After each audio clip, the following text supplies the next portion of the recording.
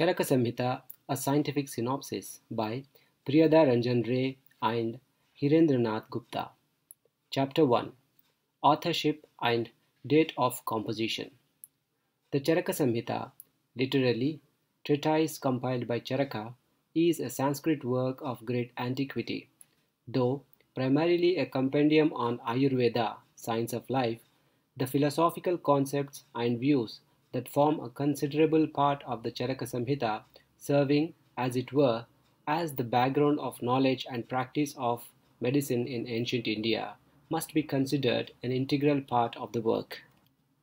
It is difficult, if not altogether impossible, to fix an exact date for its composition or even to identify its author with any certainty. The only text available at present is a redaction by Dridhabala of the 9th century AD, who repeatedly mentioned in the body of the text that he merely edited an ancient work of this name, restoring and reconstructing some missing passages. In fact, a major portion of the last book of the Samhita, Siddhisthana, was added by him. The text gives a detailed account of how the Charaka Samhita was originally composed. A conference of sages meeting somewhere in the Himalayas with the common object of alleviating human suffering and assuring a long, healthy, and satisfying life to all, decided to take all steps to acquire the necessary knowledge for that purpose. Sutrasthana chapter 1. Later, one of the sages, Atreya Punarvasu by name, requested six of his disciples to compile his teachings in writing. Sutrasthana chapter 2. The treatise of Agnivesha was considered the best, and the Samhita of Agnivesha, revised by Charaka at some later date, formed the basis of Dridhabala's edition. In fact, the major portion of Charaka Samhita is presented in the form of questions and answers between the disciple Agnivesha and his teacher Atreya. There is no reason why this account, as far as the sequence of authorship is concerned, should not be accepted as correct. Chakrapani Datta, 11th century, in his commentary Ayurveda Deepika on Charaka Samhita, practically asserted the identity of the later with the original Agnivesha Samhita, of which he seemed to have a full knowledge. A great deal of difficulty is, however, encountered when we try to identify Atreya, Agnivesha, and Charaka with authors of the same names mentioned in Brahminical, Buddhistic, Chinese, and Arabic literatures. Some of these names are found to occur as early as the Vedic period, 2nd millennium BC, and some as late as the early centuries of the Christian era. It had been a common practice in India for scholars of lesser fame to assume the titles of their more renowned predecessors in their particular fields with a view to fixing a stamp of authority on their own works. This fact introduces an element of uncertainty in any tentative chronology. Most of the hymns of fifth mandala of Rigveda are attributed to Atri or Atreya. Again, Atreya is the name of a famous medical teacher at Takshila who, according to many Buddhistic and Chinese texts, was the preceptor of Jivaka, the personal physician of Gautama Buddha, 6th century BC. But the Atreya of Charaka Samhita is Atreya Punarvasu, son of Chandrabhaga, Sutrasthana 1399, whereas no Vedic text, Buddhistic source, or Chinese work even mentions the title Punarvasu or the parentage. The Charaka Samhita itself makes a mention of yet another Atreya, Sutrasthana 1.9. Nowhere does it mention Takshila as Atreya's place of residence. On the contrary, Punarvasu Atreya is described as taking a walk in Kampilya, a city on the river Ganges, Vimanasthana 3.3. Though the possibility of an excursion or of migration cannot be ruled out, there is nothing to support his identity with the teacher of Jivaka except the surname Atreya, which is derived from the name Atri and means a descendant or follower of Atri. the identification of the author of Charaka Samhita which, with the teacher at Taxila made by Rudolf Hoernle, Bower manuscript, introduction, page number 58, is not based therefore on any convincing evidence. As for Agnivesha, the Mahabharata refers to one Agnivesha as receiving the knowledge of Dhanurvidya, science of archery from Bharadwaja, Adiparva shlokas 5107 and 5108, whereas in the Charaka Samhita, Agnivesha is merely a disciple of Atreya who in his turn received his knowledge of Ayurveda also from one Bharadwaja. Sutrasthana chapter 1. Here again an identification would be hazardous. The Chinese text of Tripitaka names one Tehelokya, that is Charaka in Sanskrit, as a trusted physician in the court of the king Kanishka, circa 200 AD, in the northwest of India.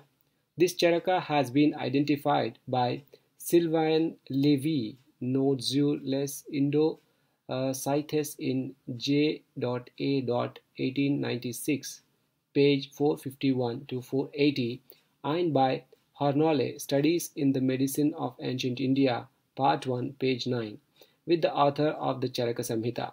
Here again, the identification is far from convincing, for the name and title of Charaka, literally a wanderer, has been found in many places and contexts in ancient Indian literature and is, in fact, associated with a particular school of medical knowledge. Reference to this is found in the Black Yajurveda, L. Renou uh, Eclos Vedic, page number 129, 144, etc. The Taittiriya Samhita, known to be a work dating from more than a thousand years before the Christian era, also speaks about the Charaka school of medicine, though not in complimentary terms. Taittiriya Samhita 649.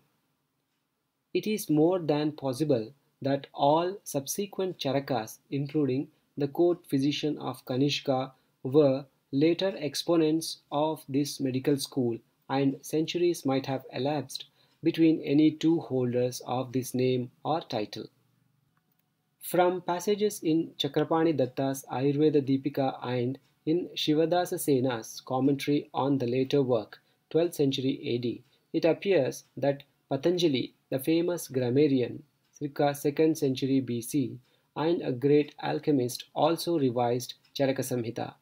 If these are to be believed, Charaka cannot, by any stretch of imagination, be placed in the court of Kanishka three or four centuries later. It is, therefore, extremely difficult to give any definite date when Atreya, Agnivesha, or Charaka of our text might have flourished. P. C. Ray, History of Hindu Chemistry, Volume 1, Introduction, page number 13 to 23, after considering all internal and relevant evidence, places the date of composition of Charaka Samhita in the pre-Buddhistic period, that is, before 600 BC. His arguments are summarized below. 1. The text of Charaka is written in a haphazardous and unsystematic style, intermingled with metaphysical disquisitions in sharp contrast with the precise style of works composed in the Buddhistic and later periods. 2. Vedic gods and mantras occur repeatedly, but references to Puranic mythology and Buddhistic scriptures are conspicuous by their absence. 3. Charaka follows Vedic texts in uh, counting the number of bones, 360, in the human body, and in assuming the age of 30 as the limit of man's youth. 4. The prose style of Charaka resembles that of Brahmanas of the Vedas. 5. The treatise appears to be a record of the deliberations of Vedic rishis, often giving their discussions in full. Wide discourses on taste Sutrasthana chapter 26 and clearly mentions that it was composed shortly after those deliberations. 6. Patanjali, 2nd century BC, is known to have made a redaction of the Charaka Samhita. Jean Filliozat, La Doctrine Classique de la Médecine Indienne, page number 1719, also believes that significant references found in the text, the stage of development of the language employed, and careful comparison with other works of established dates can give a more reliable idea of the date of composition than the names and dates of supposed authors. He, however, considers the style and composition definitely post-Vedic and having considerable affinity with the Arthashastra of Kautilya, 3rd century BC. According to him, the Charaka Samhita was composed in a period which antedates the Christian era but not by a very long period. He gives the 2nd or 1st century BC as the most probable date. Some workers, Filliozat, Locositato and Gananath Sen, Pratyaksha Shariram, Volume 1, page number 8 to 11, have identified Charaka with Patanjali, but the evidence in support of this view is not very convincing. Winternitz's History of Indian Literature, Part 1, assigns 100 AD as the approximate date of Charaka Samhita and the Chronology Committee of the National Institute of Sciences of India, Proceedings 1952 after considering all available evidence, adopted this date for the text, which formed the basis of the double R's redaction.